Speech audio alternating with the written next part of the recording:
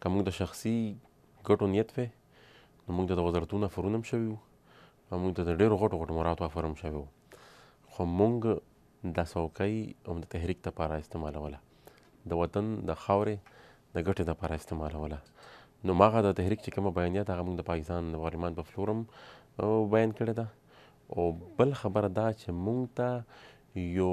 زمونږ په دغه باندې دا یو مهره مو لګېدو زمونږ چې کومه بیانیه وه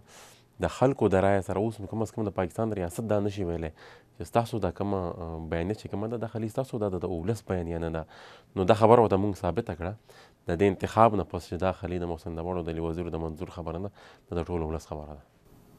ستاسو تر اوسه پورې لاسته راوړنې څه دي د خلکو لپاره د پښتنو لپاره تاسو څه کړي دي؟ زموږ د ټولو نه غټه لاسته راوړنه دغه ده چې موږ د خلکو د زړونو نه ویره وباسله هغه ویره چې کومه د خپل حق لپاره د خپل حق د غوښتنې لپاره د خپل خاورې باندې د امن او د ښه ژوند راوستلو لپاره د خلکو په زړونو کې وي او یا هغه ظلم هغه زیاتې په چې په خاوره باندې کېدو د هغې پر خلاف د رایې د اظهار چې کومه رایه یره وه هغه یره اوس موږ د خلکو د زړونو نه وویسته نو اوس د خدای په فضل سره د خاورې هر بچی منظور دی د خاورې هر بچی محسن داوړ دی د خاورې هر بچی علي وزیر دی تاسو کوم لست لرئ څومره پښتانه ورک دي څومره وژل شوي دي د هغوی درک معلومه دی که نه؟ مونږ سره بالکل لسټونه شته په زرګونو داسې خلک دي چې هغه کم چې په دې پنځلسو کالو کې وژل شوي دي د هغوی تعداد هم ډېر زیات دی او کم چې بېدرکه شوي دي د هغوی تعداد هم زیات دی په دې کې بعضې خلک داسې چې هغه معلوم دي چې هغه د فوج په حکومت خانو کی دی بعضی خلک پدی کی داسی دی چی هغوی هیڅ قسمه درک نه لګی چی دا هغوی چرته دی نو بلکل مونږ سره لیسټونه هم شته او پدی باندی داسی نه ده چی تل مخکی پدی باندی د پاکستان اعلی چی کوم عدالتونه دی های کورټ سپریم کورټ هغوی باندی هغوی هم فیصلی راغلی دی چی دا خلک هغوی فوج ته باقاعده ډایرکشن ورکړی چی دا خلک ستاسو په حکومت خانو کی دی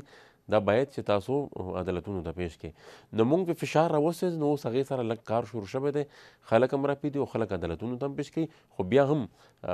ډیر خلک زموږ داسې دي چې هغه اوس هم په دې حکومت خانو کې دي او ډیر خلک اوس هم ورک دي د هغې د تکل لپاره به زموږ مبارزه جاري وي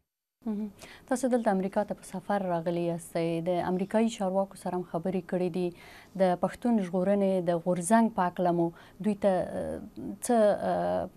ویلي دي، څه څرګندونې مو ورسره کړي دي؟ آیا هغوی ستاسو په خبرو باندې چې تاسو سره اسټبلشمنټ څومره ظلم کړی دی باور کوي که نه کوي؟ باور که څوک کوي او که نه کوي زما خپل ولس په ما باندې باور شته او هغه ما سره په دې باندې ولاړ دی نو زما دپاره د ټولو نه غټه خبره دا ده او د دنیا د نورو د نړۍ چې څونه هم ملکونه دي که امریکا ده او که نور ملکونه دي هغوی ته موږ خپل خبر رسوو خپل حقایق ورته بیانوو چې حقیقت د ځمکې دا دی حقایق دغه دي تاسو چې کوم تصویر نور ریاستونه پاکستان یا د دې ادارې پیش کوي دا حقیقت نه دی اوس نوره ستاسو په مستقبل کې فیصله څه ده ستاسو پالیسي څه ده هغه ستاسو خپل کار دی زه اوس هم دا ګڼم چې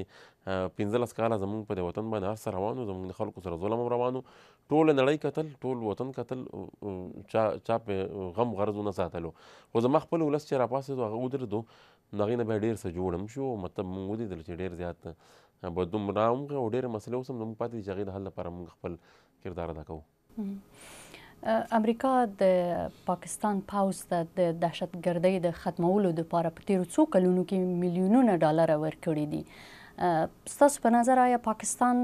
د پاکستان پوځ دغه پیسې دقیق په هماغه څه مصرف کړه په کوم څه چې امریکا ورته ورکړي وو؟ مونږ هم دا خبره د امریکي چارواکو ته وویل چې ستاسو نه زمونږ مرسته نه ده په کار مونږ د پر خپل ولس ډیر دي خو کم از کم زمونږ برخلاف هم مه ودرېږئ دا څونه پیسې چې د پاکستان فوج ته ملاف شوي دا ترهګري خو اوس هم شته هلته اوس هم ترهګر موجود دي ترهګري خو اوس هم کېږي دا څونه د ټارګټ کلینګ اټیکس وشو په شمالي وزیرستان کې د د ضرب عضب نه پس همدغه شان دی په نورو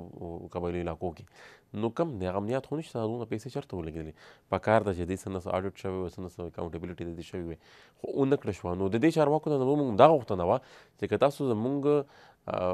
مطلب مونږ د مرسته ضرورت د چا نشته خو کم از کم زمونږ برخلاف هم مو ودرېږي چې مطلب دا پیسې تاسو هغې ته ورکړئ دا زموږ خلاف